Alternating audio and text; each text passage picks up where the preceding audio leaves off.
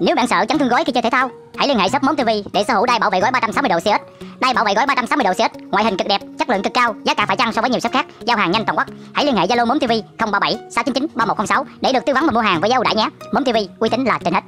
Hi, xin chào mừng em đã quay trở lại với kênh của Món Trong top những cái đối truyền tài năng hàng đầu thế giới thì có lẽ cái tên Yuji Nishida đã quá quen thuộc với tất cả anh em chúng ta rồi Và ở cái vị trí thi đấu đối truyền đó tại tuyển quốc gia Canada cũng có một tay đập Đấy, với sức bật lên tới 3m82 và cái tầm cắt bóng cực cao. Và cũng chính anh ấy đã từng bị nứt xương đùi. Một cái chấn thương rất nghiêm trọng tưởng chừng như là sẽ giả từ sự nghiệp. Tuy nhiên thì sau 5 tháng một cái khoảng thời gian bình phục phi thường anh ta đã quay lại thi đấu và hầu như cái chấn thương đó không ảnh hưởng gì tới cái tài năng và cái khả năng sức bật của anh ta. Và ngoài sức bật lên tới là 3m82 thì anh chàng này lại có những cái lợi thế chẳng hạn như là lợi thế về sải tay. Sải tay của anh chàng này phải nói là một trong những cái sải tay phải nói là hàng hiếm của thế giới khi mà lên tới là 2m4 một cái sải tay 2m4 anh em thấy kinh không? Và không biết rằng cái sải tay này sẽ giúp ích cho anh ta như thế nào trong cái việc à, thi đấu. Thì một tí xíu video sau đây mớm sẽ phân tích cho tất cả các anh em. Và chàng trai này cũng được xem như là một viên ngọc một tài năng của tiểu quốc gia Canada một đội tuyển đang đứng thứ bảy trên bảng xếp hạng của FIVB vậy anh ấy là ai?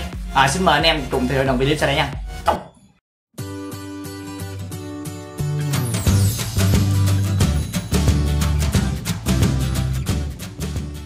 Chào mừng anh em đã quay trở lại với kênh của món Đội tuyển bóng chuyền quốc gia Canada là một đội tuyển rất mạnh nếu như anh em nào mà chịu tìm hiểu. Và họ đã chiếm ở cái vị trí số 7 trên bảng xếp hạng FIVB một thời gian rất dài và chưa có một sự tháo, xáo trộn nào cả trên cái bảng xếp hạng của FIVB Và sự thành công đó không thể bỏ qua đóng góp của tay đập, một đối chuyền tài năng mà không quá khi nói rằng thuộc là hàng đầu của thế giới hiện tại. Và đó chính là Sharon Venom Evans bây giờ mớm sẽ gọi là Evans cho nó dễ nha. Và anh ấy chính là nhân vật mà mớm sẽ gọi đến tất cả các em. Cùng anh em đi bình luận bàn luận để xem là anh chàng Sharon Venom Evans này có cái gì đặc biệt mà khiến uh, báo chí báo đài của thế giới đã từng ca ngợi anh ta rất là nhiều. Và cũng như thường lệ thôi thông tin đầu tiên chúng ta sẽ đi tìm hiểu đó chính là về cái thông tin cá nhân của anh chàng Evans thì anh chàng Evans này là người Canada sinh ngày 28 tháng 8 năm 1988 thì năm nay cũng là 20 22 tuổi. Đúng là 22 tuổi. Thì chiều cao của anh chàng này rất là khủng nha anh em. Chiều cao là 2m05 2m05 cân nặng là 94 kg 2m05 mà 94 kg thì con người ta nó không có đồ sộ đâu, nó rất là đẹp luôn. Đấy. Tầm bậc của anh chàng này lúc đỉnh điểm là 3m82 kinh khủng thiệt. Và sức bật chắn của anh chàng này là 3m47 đó. Và đó là một vài thông tin cơ bản về sức bật năm sinh xuất Hàn quốc tịch vân vân muốn gặp được anh em. Và bây giờ chúng ta sẽ cùng đi tìm hiểu chính thức về những cái điều gì đặc biệt khi mà xem cái anh chàng Ivan này thi đấu. Điều khiến Ivan tạo được sự khác biệt, không thể bỏ qua, đó là sức bật hiện tại theo mớm tìm hiểu thì Ivan là một trong những vận động viên đối diện. Và nói có sức bật kinh khủng của thế giới và là một vận động viên của Canada bật tốt nhất của tuyển quốc gia Canada tính tới thời điểm hiện tại chưa ai qua được cái anh chàng Ivan này mặc dù mới có 20 22 à, tuổi. Vào năm 2015 khi lúc này uh, Ivan chỉ mới 17 tuổi nha anh em chỉ mới 17 tuổi thôi thì đã bật đà và chạm ngưỡng là 3m82 một cái con số rất ấn tượng phải thấy là rất là mơ ước của rất nhiều vận động viên bóng chuyền thế giới chứ đừng nói chi là chúng ta. Và sau lưng món đây là một cái video clip trong một bài kiểm tra về sức bật của anh chàng Ivan khi anh ta mới có là 17 tuổi. Anh ta bật anh em nhìn thấy không? Bật. Gần như là chạm hết luôn cả những cái ờ, những cái thanh đo độ cao trong cái uh, dụng cụ kiểm tra sức bật và cái con số 3m82 này mình xin khẳng định như này là nó thuộc hàng khủng thế giới rồi. Thật sự hàng khủng thế giới. Martin thì 3m90 Seaman thì 3m89 3m82 3m80 vân vân nói chung là rất nhiều vận động viên của bạn nói chung cái hàng mà 3, 3m8 trở lên là, là khủng lắm. Thật sự rất là khủng và cái điều đặc biệt thứ hai của cái anh chàng uh, uh, Ivan này á mà muốn không thể bỏ qua. Và cái này là mới phải nói cho anh em luôn. À, đó chính là cái sải tay. Và trong một cái bài kiểm tra thì sải tay của anh chàng Ivan này nó lên tới 2 mét tư. Bất cái sải tay mà 2 mét tư anh em mình dung ngược khi mà tay sang hai cái tay ra như vậy nè thì đo chiều dài của hai cái tay là hai mét tư. Nhưng mà cái điều quan trọng ở đây á, là với cái sải tay dài quan trọng là anh em có tận dụng được cái sải tay dài của mình hay không? Đó mới là một cái chuyện thì riêng cái anh chàng Ivan này đã làm rất tốt cái điều đó. Anh ta tận dụng gần như là tuyệt đối cái lợi thế về sải tay của mình.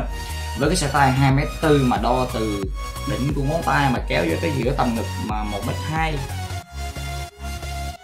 Mà kinh vãi anh em à anh em đã nào đo thử cái từ cái cái mũi bằng cái cái cái mũi ngón tay này ngón, ngón nhà nhất nè. Vô tới giữa giữa ngực mà lên tới một mét một mét hai là rất là dài sự dài người ta thường ví von là đôi chân dài mét hai còn cái này cái tay ông này dài mét hai y như cái con đười cái này thật sự là rất là là, là, là, là kinh khủng luôn. Và đây là một cái điều cái với cái sải tay mà một mét hai này hai mét tư này là một cái điều một cái điều rất là hiếm đối với một vận động viên bóng chuyền thế giới chứ không riêng một của Canada. Và chính cái sải tay dài này đã phần nào giúp cho Ivan phát huy được cái phong cách và cái lối đánh bóng tầm cao. Và nếu như anh em nào đã từng theo dõi cái chàng trai này thì anh em mới nhìn thấy rằng là anh ta đã tận dụng cái sải tay và cái sức bật 3m82 của mình để tạo ra những cái quả phan bóng cao tay phải sắc bén. Và những cái clip hồi nãy giờ như sau lưng mớm đăng ký cho anh em đây là những quả đập bóng cao tay và nó rất khó chịu. Với cái tốc độ mà mớm một lần tình cờ mớm thấy là khả năng đập bóng với cái sức mạnh nó lên tới là tốc độ là một trăm hai mấy cây số giờ 126 cây số giờ. Những cái quả những cái quả đập bóng của của của anh anh chàng uh, Ivan này rất mạnh mẽ anh em rất mạnh. Và, và chính vì bật cao quá cái này là mới chia sẻ anh em luôn chính vì bật cao quá. Đó là vào năm 2018 cụ thể là tháng 3 2018 khi mà anh chàng Ivan này ảnh vừa tròn 20 tuổi. Đấy thì anh ta đã bị chấn thương bằng cách là nứt xương đùi. Nứt xương đùi nha anh em. Đấy anh em bị dây chằng bị cái gì thì cũng rất là đau. Nhưng mà thường cái chấn thương mà nứt xương đùi này á, là những cái vận động viên phải nói là à, thi đấu quốc tế với cái môi trường tập luyện nó cao thì nó mới nó mới bị những cái những chấn thương liên quan tới xương thôi còn anh em mà quấn phong trào á, thì thường những chấn thương bắt gặp nhiều nhất đó là lật sơ mi hoặc là là giãn dây chằng nặng nhất là đứt dây chằng. Còn anh chàng này á, đó chính là nứt xương đùi. Nứt xương đùi nghe cái chấn thương kinh khủng và thậm phải đi qua đất nước Ba Lan. Nước Ba Lan để phẫu thuật phẫu thuật và sau đó họ đã nẹp vào cái đùi của anh chàng này những cái miếng trợ lực bằng bằng bằng kim loại bằng kim loại và chính cái vết thương này khi năm 20 tuổi thì rất nhiều báo chí của Canada cũng như là báo đài của liên đoàn bóng chuyền thế giới IB à, đã đặt ra một cái câu hỏi rằng là liệu là Ivan có thể quay lại thi đấu hay không? Bởi vì đây là một cái chấn thương rất rất nặng rất nặng. À, tuy nhiên thì không biết bằng một cách gì đó bằng cái niềm đam mê bằng cái sự tập khổ luyện thì Ivan này đấy đã bình phục một cách ngoài mong đợi luôn chứ không phải là là là, là, là như mong đợi nữa là trong vòng 5 tháng thì anh ta đã bình phục và thi đấu cho đội tuyển Canada rất là tốt. Cũng y như lúc chưa hề chấn thương và đây là một cái kỳ tích của anh chàng này. Và hơn nữa khi thi đấu ở vị trí đối chuyền thì anh em cũng biết đây là một cái vị trí mà nó di chuyển khá rộng trên sân. Đấy như là một vị trí trung phong nó di chuyển khá rộng trên sân. Ở khi mà ở hàng trên đó, thì luôn là một sự lựa chọn cho tấn công đó, để giúp đỡ à, chủ công. Trong khi đó khi ở hàng dưới thì đối chuyền lại luôn là một sự lựa chọn cho những cái mạng những cái pha tấn công sau dập 3 mét khi mà thi đấu ở những cái đội hình như là 5 1 đội hình chơi đối chuyện như chúng ta biết á. Cho nên cái anh chàng Ivan này đã có những cái pha tấn công sau vạch 3 ờ, mét khi thi đấu khi chơi ở vị trí số 1 vị trí phát bóng hay là vị trí số số 5 gì đó thì anh ta đều có những pha di chuyển để tấn công sau vạch 3 mét. Cái phong cách thi đấu nó rất rất là giống Juji Nishida. Thì thường thường đối chuyện nó là như vậy, đối chuyện là như vậy, nó luôn luôn là cái sự lựa chọn lựa chọn tối ưu cho hàng sau thì ngoài tấn công thì anh chàng uh, Ivan này còn tỏ ra rất là kinh nghiệm và từ khôi ở vị trí chấm bóng. Bởi vì anh em hiểu là cái sức bật là uh, 3 m 47 mặt trắng anh em cộng với cái chiều cao là 2 m lên 5 thì thì Ivan này cho phép mình uh, lên lưới ráp chắn rất là nhanh. Các bạn nhanh nó tạo ra rất khó chịu với những pha chấm bóng. Những cái hình ảnh chúng ta thấy trong những pha chấm bóng mà cái tay ông dài giả man lại luôn. Và chúng ta sẽ quay lại cái vấn đề về cái tay dài. Đây và phải nói là khá khen cho một cái ờ, anh chàng Ivan này khi đã gặp được một huấn luyện viên kỳ cựu. À, mong xin chia sẻ anh em đó là huấn luyện viên Stefan Atiga. Đây là một cái huấn luyện viên phải nói bá đạo nha anh em. Chính ông này đã giúp Ivan à, điền tên mình vào những cái đối chuyện hàng đầu thế giới. Thì anh ông anh chàng Stefan Atiga này là huấn luyện viên của đội tuyển quốc gia Canada hiện tại. Và ông này từng là cựu tuyển thủ quốc gia Pháp. Và cái lịch sử của ông này bá đạo như thế nào thì anh em cũng từng biết. Nếu anh em nào theo dõi bóng chuyền thì cái anh chàng à, Stefan này đã dẫn dắt à, Ba Lan giành vô địch thế giới khi ông ta là huấn luyện viên trưởng của đội tuyển quốc gia Ba Lan. Để kinh khủng không? Và bây giờ là huấn luyện viên trưởng của đội tuyển quốc gia Canada.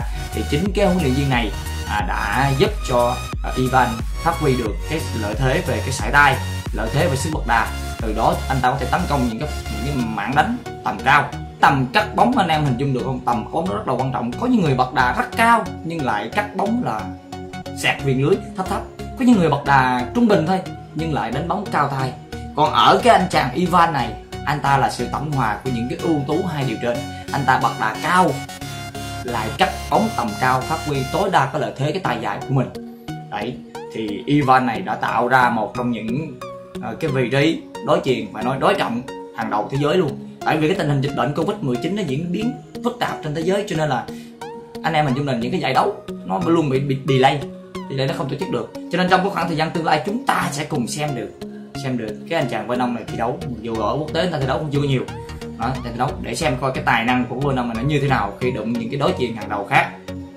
Và đó là vài thông tin mà muốn gửi tới các anh em về cái anh chàng Vân Ông hy vọng là sẽ có những cái thông tin bổ ích về kiến thức và giúp cho anh em chúng ta có hiểu hơn về những cái tay đập những cái đối chuyền hàng đầu thế giới đấy thì món tv xin chân thành cảm ơn tất cả các anh em đã ủng hộ kênh món trong thời gian vừa qua. Và nếu như anh em nào mà có nhu cầu mua đa bảo vệ gói 360 độ CS mà muốn bán thật sự tới bây giờ là muốn bán hình như là đâu đó là hơn 1.400 cái đó cho tất cả các anh em thì anh em có thể inbox zalo của món để ờ, được ờ, món tư vấn cũng như là à, chia sẻ. À, còn nếu như anh em nào là học sinh sinh viên thì mới có giảm giá nha.